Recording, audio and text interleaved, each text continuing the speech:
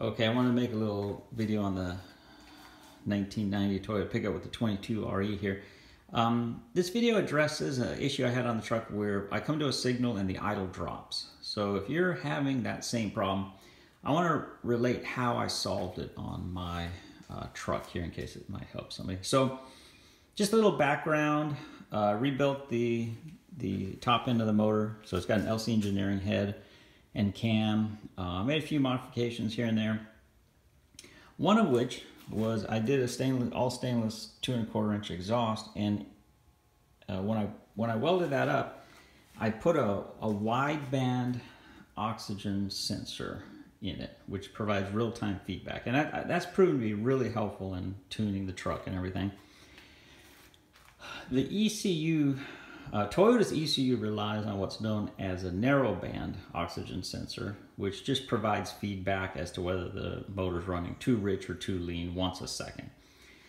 So the problem I was having was I come to a signal and the idle drops to 500 RPMs and the truck acts like it wants to die. And it was driving me crazy, but I noticed on my wideband sensor, which uh, provides real-time data, it that coincided with the air fuel ratio going very lean, you know, up to about 16 or so. And then it would take a little while and I'd watch the gauge and I would see that the ECU would slowly richen things up and eventually get the truck to idle again, you know. And I thought, huh, that's that's weird, you know.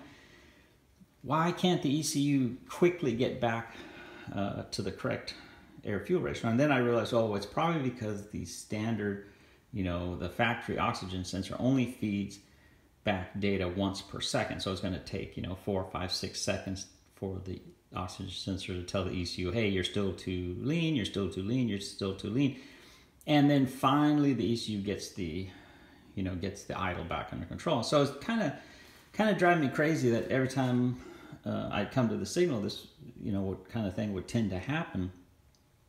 So I started thinking to myself, well, why is that happening? What is there anything I can do to keep the ECU from going way lean and you know help it get back under control more quickly so that I don't I don't have this problem. And I tried a lot of different things. What I stumbled on that actually seems to have fixed the problem, believe it or not, is just this dash pot down here.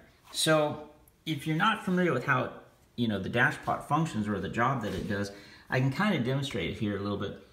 It's basically a bellows. And you can see when you work the throttle plate and you release it, the dashpot's job is to allow it to come in gradually for a slow landing. And the factory, and you can see this little uh, screw here and nut, controls the length of the rod that dictates kind of the setting for the dashpot. In the factory service manual, they give all the specifications, and I had the factory setting, uh, you know, originally, and I was having the problem.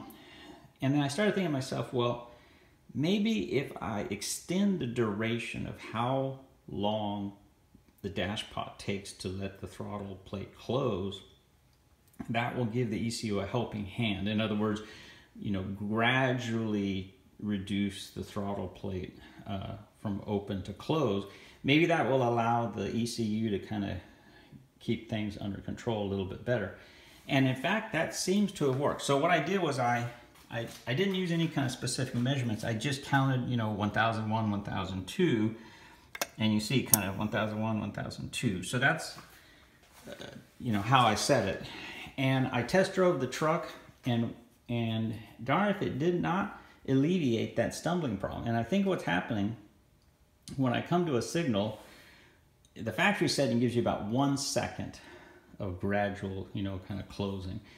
I have it set to about two seconds, and that extra one second seems to help the ECU, uh, and, and I don't know the exact mechanics of, you know, what's specifically going on. Is it something to do with the throttle position switch or the programming in the ECU or, you know, kind of the flow characteristics from from lean to rich or I don't I don't know what's going on but I do know that it seems to have cured that stumbling problem and I think what's happening is it's it's allowing the ECU to kind of not go off the map as much and have a little bit of extra time to get things back under control with regard to idling. Now I will mention the, the only other thing I've done here is the, I blocked, totally blocked off the idle air control valve hole as I mentioned in my other video. And that seems to really made the truck run better overall. Uh, I live in a warm climate so I don't really need a lot of the cold start stuff. Um, I think one of the reasons is it might, that hole might produce turbulence in the airflow. So I think by blocking that off with tape, I think I might have produced a, a, a more clean airflow in there. Uh, the other thing is I do have the air suction system disabled and I have the uh, EGR system disabled. Um, and at the moment I have a test pipe in, but I'll, I'll, probably put my cat back in at some point. So that's kind of the configuration of the motor. Everything else is, is more or less stock. Um, I did uh, take the PCV, the positive crankcase ventilation valve, out and drill it open just ever so slightly wider because I was trying to get better vacuum. Uh, when the when the truck's at idle, it's pulling around 17 and a half, 18 inches of vacuum at you know 850, 900 RPM. So I'm real happy about that. And then on deceleration, I get about 24 inches going, you know, cruising down a hill with my foot off the off the gas. So that's I, from what I've read on the forum. That's forums. That's about what the vacuum should be. So I think overall the motor's running pretty well. Uh, burns a little bit of oil, but that's because uh, I, I, didn't do anything to the bottom end. Uh, you can see over here, I've got the 3RZ that I'm working on. Uh, so in a few years, I'm going to turbocharge this and drop it in. So I'm just kind of trying to get the 22RE to, to run for a couple years and get me around town. But truck's doing pretty well, getting about 20 miles per gallon around town and on the highway. So real pleased with that. Uh, overall, just super reliable. Um, and uh, like I say, the, the main issue I was having was coming to the coming to a stop and, and then the, the truck wants to die and, and the idle drops down to 500 RPMs for, for some unknown reason. But now that seems to have been cured by the dash pot. So I wanted to pass that along to anyone who's, trying to, you know, diagnose their truck or get it to run better. Uh, take another look at the dash pot and maybe make an adjustment so that instead of coming down in one second, it comes down a little bit more gradually. Two seconds seems to be uh, helping my truck quite a bit. So uh, that's definitely something worth checking out if you're having that kind of stumbling, uh, you know, idle dipping problem. So, okay, hope the video has been helpful. As always, if you have any questions there, uh, feel free to use the comment section below. And thanks for watching.